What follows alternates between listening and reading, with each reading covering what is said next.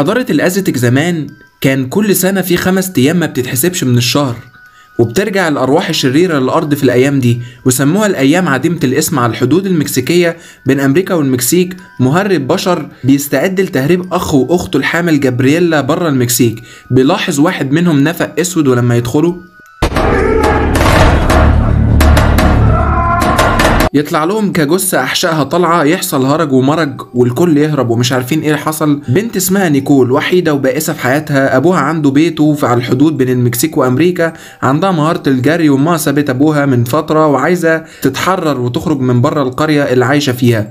وتروح سان دييجو وتشترك في الماراثونات هناك وكمان بتفكر ما تقولش لأبوها وتهرب. لما تروح تلاقي أبوها مع صاحبه ود بيصلحوا العربية ويقول لها أبوها استني روحي أكلي الحيوانات في المزرعة. لما تروح تلاقي آثار ريش فراخ مذبوحة ودم على باب المخزن. لما تفتحوا يلا- يلاقوا حد أكيد من المهاجرين كان هنا وخد كل فراخهم وتلاقي نيكول تمثال غريب قديم ويستغربوا منه ويقولوا أكيد ده من عصور ما قبل التاريخ. بتسمع نيكول عن التمثال ده؟ إنه كان من الممتلكات القديمة ليها طقوس شيطانية اسمها سيواتيل تبع حضارة الأزتك وبتعبر عن شيطان الخاص بالستات اللي ماتوا قبل ما يولدوا أو حتى أثناء ولادتهم. وبيرجعوا تاني للحياة من وقت للتاني عشان يدوروا على أطفالهم. والتمثال ده بيعتقد الناس إنه بيحميهم من الشيطان بتاع الستات. يخش أبوها يقول لها بصيتي على طرد البريد ولما تفتكر إن رسالة السفر لسان دييجو وصلت تجري بسرعة بس اتأخرت وأبوها شاف الرسالة يتصدم وتقول له يا بابا لازم نتكلم.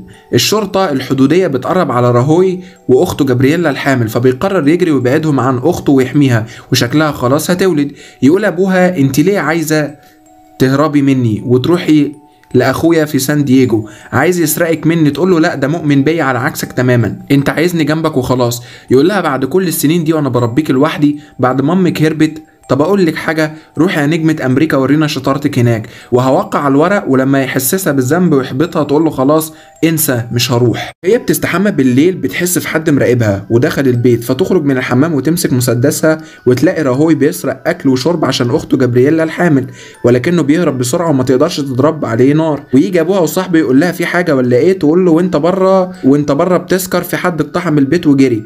يقرر يروح هو وصاحبه وراه يلاقوا جنود مكسيكيين ميتين بصورة بشعه وأحشائهم كلها خارجة منهم ومش عارفين إيه اللي حصل ويروحوا يبلغوا الشرطة ما يصدقوهمش. ويقولوا له كنت بتعمل إيه على الحدود؟ يقول لهم حد دخل بيتي فقررت أروح وراه. يقولوا له ما تروحش هناك تاني لأن إحنا جالنا بلاغ من أسبوع برضه بحدوث نفس الجريمة واحد مقتول وأحشائه خارجة. ونيكول نايمة يقول لها أبوها إنه هيخرج شوية هيشتري شوية كاميرات مراقبة عشان يصوروا أي حد بيقرب عليهم.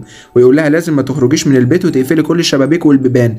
ولما تجيلها صاحبتها كيلتن تقول لها إنها غيرت رأيها ومش هتروح أمريكا عشان ما تظلمش ابوها هو اللي رباها كل السنين دي لما امها هربت. يسمعوا صوت غريب ولما يروحوا تلاقي نيكول راهوي مستخبي ومصاب. أكن حد خربشه تاخده نيكول وتعالجه ويقول لها إنه ما قتلش ما قتلش الجنود المكسيكيين وإنه في أسطورة في بلدنا زمان عن ستات بيرجعوا من الموت لسرقة الأطفال. ولما توريه التمثال يقول لها إنه كان لست جميلة ضحوا بيها زمان مع ابنها اللي لسه ما اتولدش في حضارة الازتك ومن ساعتها وهي بترجع في صورة شيطان كل خمس أيام من السنة اسمه سيواتل. لما يجي أبوها فجأة يخش الأوضة ويكون راهوي فتح الشباك وهرب. وتروح تدور عليه تلاقيه والجرح بتاعه عمال ينزف دم. تاخده وتوديه لصاحب أبوها ويد ويغير له على الجرح. تظهر الشيطان سيواتل وتهجم على قرب الناس.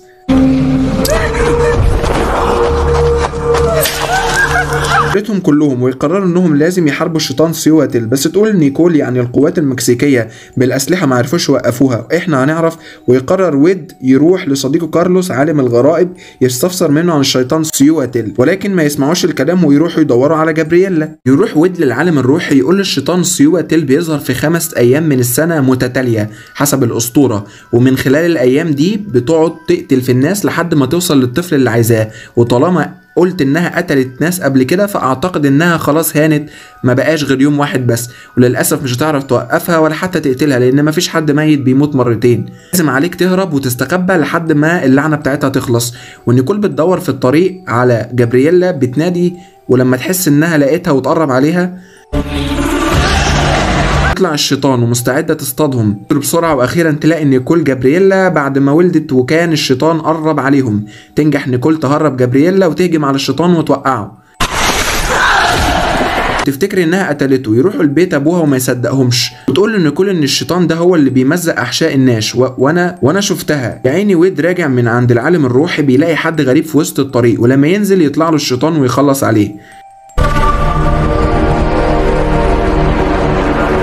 تقول نيكول إنها وقعت الشيطان في حفرة منجم وأبوها بيعيط بيديها ظرف المنحة الدراسية في أمريكا ومضى عليها ويقول لها أنا كل اللي أنا عايزه في حياتي إنك تكوني سعيدة وما تلاقيش عليا أنا هكون كويس. تدخل صاحبتها كيتلين وتقطع كلام أبوها معاها وتقول لها بقول لك إيه ما تيجي نروح أمريكا مع بعض؟ أنا أكتر حاجة بحبها في حياتي الأفلام فممكن أشوف طريقي المهني هناك. ويتفقوا وتمشي كيتلين ويلاقي أبو نيكول في كاميرا المراقبة إن الشيطان قتلها ويجي يهربهم في البيت في نفق سري ويقفل الباب ويقرر يروح يحارب الشيطان لوحده.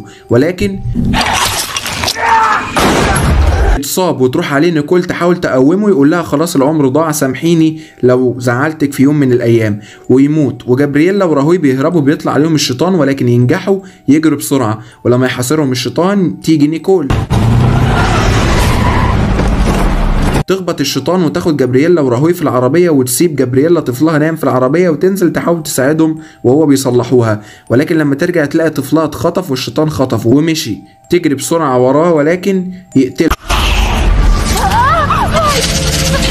وتروح نيكول بسرعة وتاخد الطفل من الشيطان وتديه راهوي وتاخده تربطه فيها وتقول له روح صلح العربية وقابلني عند بيت ويد ويفترقوا وينجح راهوي يصلح العربية وتوصل نيكول بيت ويد ولكن ما تلاقيهوش لأنه اتقتل وتفضل تجري وتجري والشيطان وراها بيجري عشان ياخد الطفل. تعبت خلاص نيكول من كتر الجري ويحاصرها الشيطان في آخر يوم من الأيام الخمسة. لما يجي ياخد الطفل يلاقيه معزة ولما يوصل راهوي البيت يلاقي إن نيكول سابت له الطفل هناك وضللت الشيطان. يجي الشيطان سيوتل ينتقم ولكن خلاص الوقت خلص. وتموت بعد ما خسرت نيكول أبوها لسه عندها أمل وتروح مع راهوي بعد ما حموا الطفل عشان يربوه.